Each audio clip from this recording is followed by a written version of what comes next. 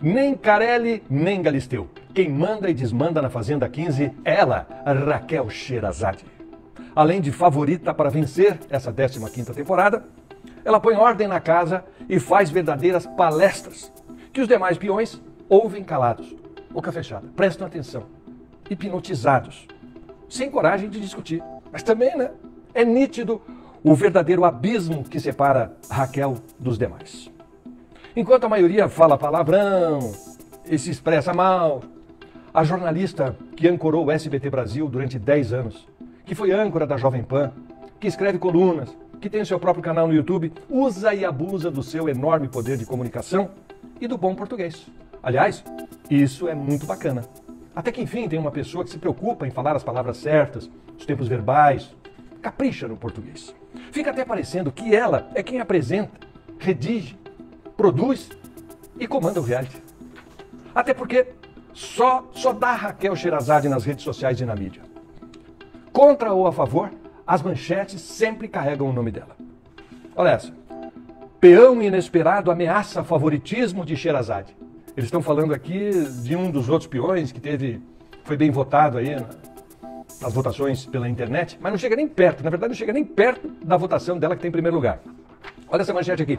SBT pode processar Sherazade por fala polêmica na Fazenda.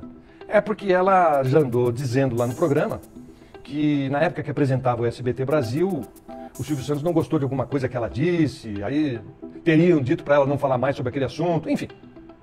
E tem uma outra manchete que eu peguei aqui, ó. Rico Melquiades aponta favoritismo de Sherazade. Ah, vai. Aí não precisa nem ser rico para saber, né? Na maioria das matérias, é a foto da Raquel que ilustra os sites, a capa dos sites. Mas sabe como é que é, né, gente? Nada disso garante que ela vai ganhar no final o prêmio de um milhão e meio. Até porque está só no começo. Mas essa predominância já me chamou a atenção. Porque a Pioa roubou a cena de um jeito, mas de um jeito, que até parece que ela é a dona do programa. Nem o bispo pode com a Raquel Sherazade. E conhecendo as mentes brilhantes que estão nos bastidores, eu tenho certeza de que isso está incomodando algumas pessoas. A essa altura, já tem gente achando que foi um mau negócio tê-la convidado para participar. É porque, além de ser a favorita, ela ofuscou todo o resto, né? Só que tem ainda um outro problema.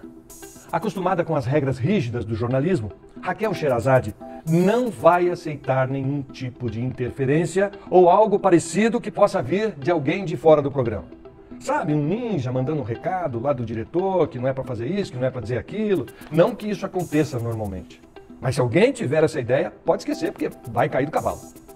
E se acontecer, ela será a primeira a denunciar. Já pensou um negócio desse? Participante faz denúncia ao vivo contra o próprio programa de que participa. Hum? Em suma, pessoal, essa é uma peoa que pode mesmo botar fogo no feno e até incendiar a fazenda toda.